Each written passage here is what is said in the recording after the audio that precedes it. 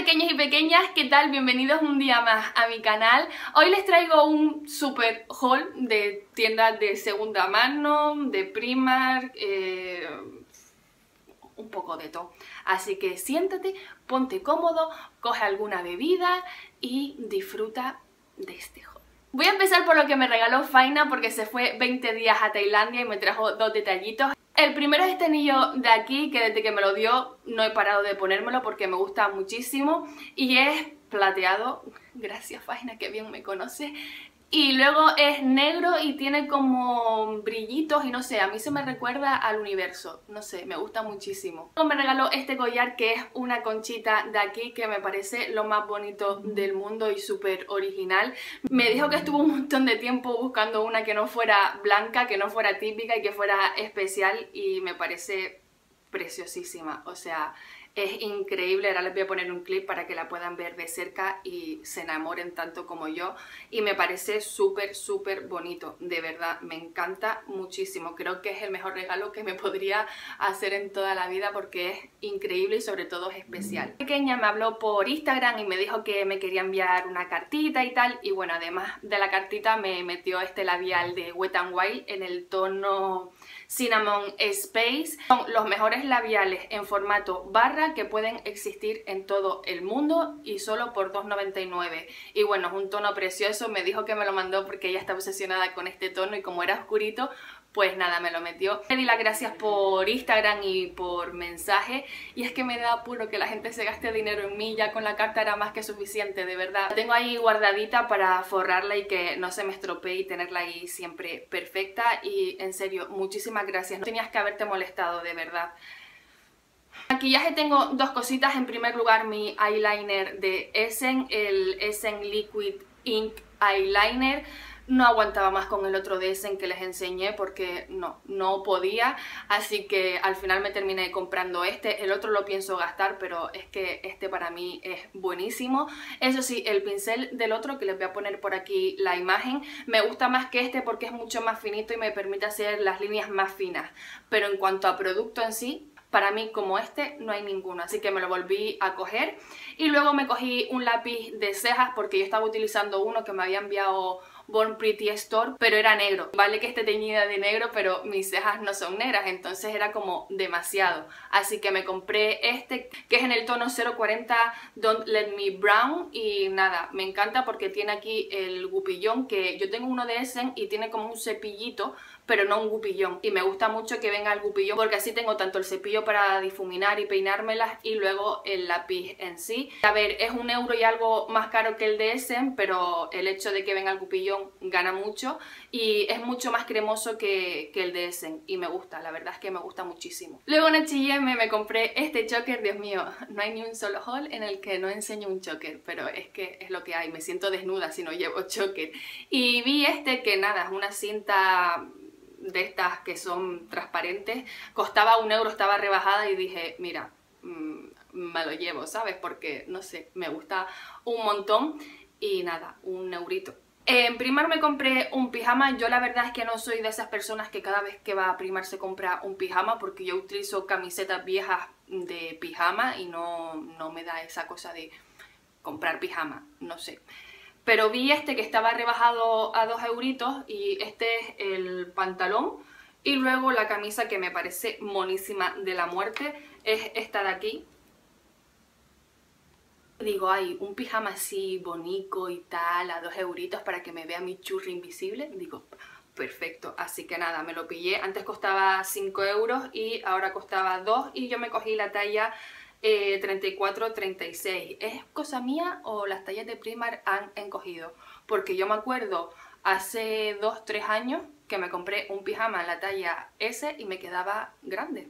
Y este es la S y la camisa me queda súper el pantalón sí que me queda sueltito y tal, pero la camisa me queda justa, ¿sabes? No sé, a lo mejor son imaginaciones mías. Y el mismo día que me compré el pijama que fui con Virginia y Diana, me regalaron este marco de fotos de aquí, que como pueden ver es negro, tiene unos detalles preciosos y costaba 5 euros y estaba rebajado a 2, también lo había en blanco. Tiene para meter diferentes fotos de diferentes formas y tamaños y me pareció tan bonito el diseño que tiene en el marco Así que muchas gracias Diana y Virgi, me encanta. Me cogí dos camisetas, esta de la zona de chicos, que es de la básica, y me cogí la talla XL y nada, es blanca con las letras aquí, la verdad que no tiene mucha ciencia. Esto no me lo voy a probar porque es una camiseta básica que ya le he enseñado mil veces cómo, cómo las combino y tal.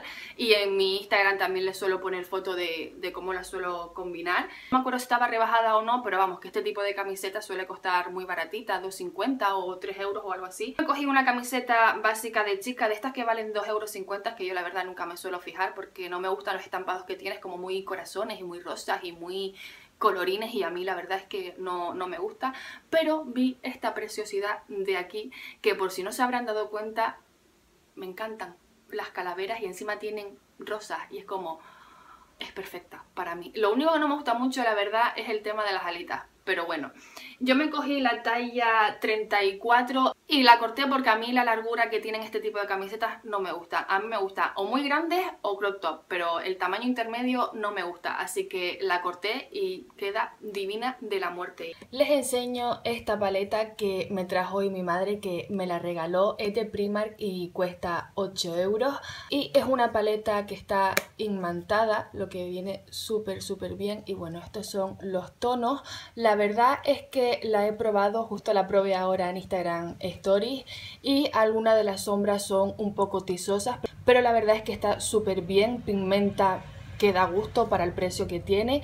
Y ahora les voy a enseñar los swatches. Estos son los swatches de la primera fila los swatches de la segunda fila, como ven lo que les digo que los tonos mates son más polvorientos, pero a la hora de aplicarlos en el ojo no hay ningún problema si es un poco el exceso. Estoy súper sorprendida con la paleta, pensé que iba a ser mucho peor, pero me ha sorprendido para bien. Lo único es que he hecho en falta un tono así en color hueso para unificar el párpado, que como pueden ver el único que es más clarito tiene como brilli brilli. Pero bueno, el resto de los colores están súper bien y es preciosa la paleta en tonos naranja, burdeos, que ahora mismo un montón de marcas están sacando estos tonos y por 8 euritos está súper bien. Vale, ahora vamos a pasar a las tiendas de segunda mano, que aquí es donde me volví un poco crazy. Me compré este anillo de rosa, que como pueden ver me encantan las rosas, y si son negras mucho mejor. Y bueno, vi este anillo y me pareció súper bonito porque además de ser una rosa, es así grande, bruto y, me encantó. Y lo estreché un poco, que muchos me preguntan por Instagram de cómo se llama la masilla que yo utilizo para estrechar los anillos, y es la masilla epoxi. La compro en el chino y me vale 90 céntimos y da para un montón eh, de anillos. Camiseta blanca, que es una camiseta totalmente blanca de hombre, creo que es una talla XXXL, no estoy muy segura, y lo único que hice fue cortar el cuello y unirlo con imperdibles. Tengo pensado ponérselo en las mangas o no sé, ya veré. Es que me encanta comprar así camisetas básicas para customizarlas yo según veo las web así de Inditex y voy cogiendo ideas o por vídeos de YouTube y tal. Y me encanta comprarme básicas porque así puedo darle yo un rollo totalmente diferente y nada, una camiseta básica con imperdibles y me parece que queda súper guay. Además, como es una talla tan grande, me queda súper larga, me queda de vestido, así que estupendo. Lo siguiente que cogí no es para nada de mi rollo, pero es que lo vi tan raro y tan diferente y tan original que dije, esto tiene que ser para mí, o sea, esto lleva mi nombre. Y es esto de aquí. Es como si hubieran mezclado un jersey y una camisa de botones en una sola prenda, porque tiene algunas partes de tela de jersey, pero en otras, como por ejemplo aquí, y en algunas partes de las mangas, tela de camisa. Y es como, Dios, qué maravilla. O sea, por favor. Y como pueden ver es en un tono así celeste bastante grande y es que me pareció maravilloso. De verdad, o sea, estas cosas raras a mí me flipan. Luego me cogí esta camisa de aquí que es hiper larga, o sea, me queda a mitad del muslo y soy alta, o sea, imagínense. Pero no sé, me encantó el diseño, me encantó que fuera así tan larga, tan grande, no sé, me encantó.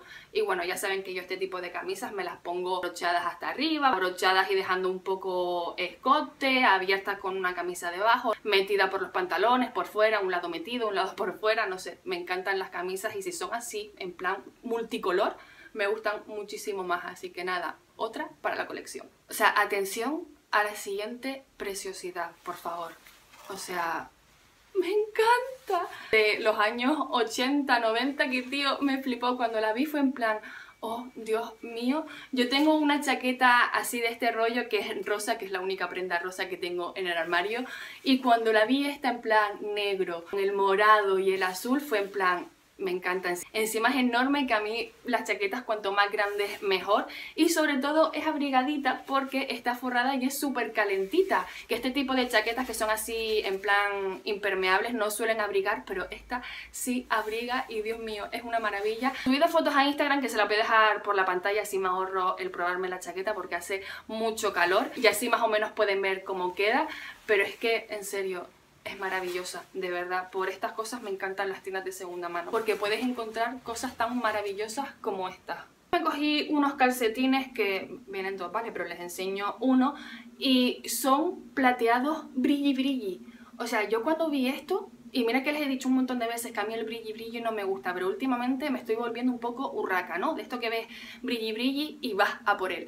Pues yo cuando lo vi fue en plan, Em, hola, ¿qué tal? Me encanta para ponérmelo con la bota que sobresalga y mira que yo solo uso calcetines negros, pero es que en estas cosas, en estos pequeños detalles es donde me gusta a mí poner así cosas diferentes, tío. Y continuamos con este jersey súper básico, gris, oscuro, mm, de hombre en una talla XXL y esto en verdad fue un poco excusa porque eh, hacía frío, no estaba abrigada y lo vi y pues tenía frío, entonces me lo cogí. Y es que además lleva un montón de tiempo buscando así un pullover así, sin que tenga ningún diseño, que sea liso, sin capucha, porque a mí me agobian mucho las capuchas en jerseys así cerrados que no tengan cremallera.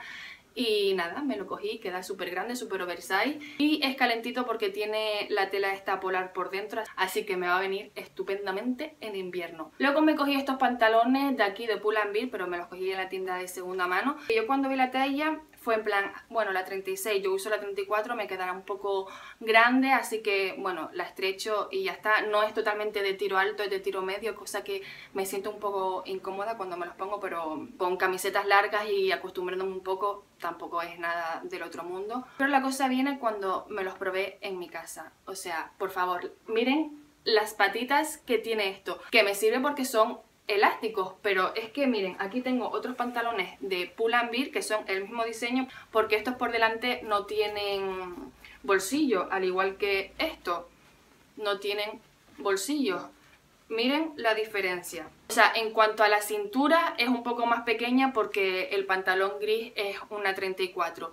Pero fíjense en las patas del pantalón, o sea, es que es súper pequeño, tío. Que yo no sé a quién de Pull&Bear se le ocurrió hacer un pantalón así, en el que la talla de la cintura sea una 36, pero que luego las piernas sea como una 32.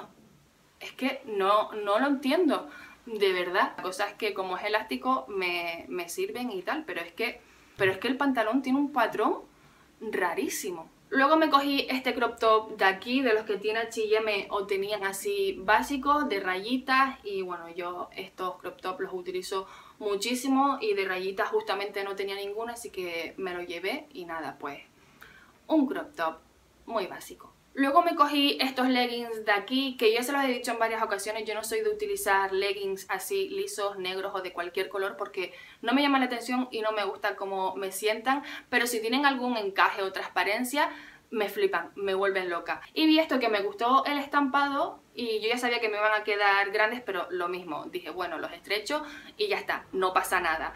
Pero es que justamente el día que me los compré fui a casa de Virginia, yo llevaba un pantalón corto y hacía fresquibiri y me los puse con la camiseta súper grande negra, eh, los calcetines que son blancos con dos rayitas arriba por encima del pantalón y las botas y me flipó cómo quedó. Así que no lo voy a estrechar, lo voy a utilizar así porque da como un rollo de los años 80, 90, no sé, muy guay, muy guay. Y me encantó cómo quedaban así, así que así se van a quedar. Estaba antojada de un chaleco, pero no los chalecos largos, sino los típicos chalecos em, de ropa de Canarias, pero en plan negro, los que utilizan los hombres. Y justamente vi este de aquí que lo tuve que estrechar porque me quedaba grande, pero nada, ya me queda perfecto. Y yo me lo puse una vez que les puse la foto en Instagram, me lo voy a poner así, me ahorro el probármelo después. Con esta camisa no porque es demasiado grande, bueno sí, en verdad sí. Ponérmelo encima de la camisa, abrochada y que se vea en plan súper grande la camisa debajo. No sé, tenía la idea esa en la cabeza de ponérmelo así y cuando me lo probé en mi casa fue en plan, vale, ya está, me ha flipado cómo queda y así es como me lo pongo, o a lo mejor también con, con una camisa debajo de las que tengo yo así de colorines queda súper guay, de verdad me encantó cómo quedó. Lo último que le voy a enseñar me da que es parte de un conjunto pero que yo me lo voy a poner por separado y lo primero es esta camisa lencera también, que no es nada de mi rollo, pero la vi y me pareció tan bonita esta de aquí. Tiene pues los botones en el centro, tiene algunos bordados y por detrás pues es totalmente básica. Y no sé, para hacer la superposición de prendas con un crop top negro debajo o simplemente llevarlo así, me pareció súper bonita. Y por último me cogí este batín de aquí que como ven me da que es parte de un conjunto pero que yo me lo voy a poner por separado y esto me lo voy a poner a modo kimono y tiene en la solapa pues los mismos bordados que, que la camisa que les acabo de enseñar y la manguita es cortita y también tiene como unos pequeños bordaditos ahí y no sé, me encantó, es totalmente blanco y me llega a mitad del muslo. Y hasta aquí el vídeo de hoy, espero que les haya gustado. En la cajita de información, como siempre, les voy a dejar mis redes sociales para que me sigan. Yo les mando un besazo enorme y nos vemos muy pronto en un próximo vídeo. Adiós.